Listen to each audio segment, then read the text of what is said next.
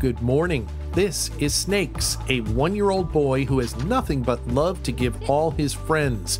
He's adoptable from the Richmond SPCA. He's very friendly and playful. Like most puppies, he is still learning that there can be too much of a good thing and how to enjoy all the things he loves without getting too excited. Snakes will be a great companion for anyone looking for a friend, but his perfect home will be with an adopter who is eager to work on training.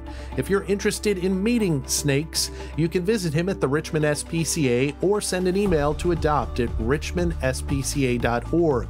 I'm Mike Goldberg with this morning's Paws for Pets.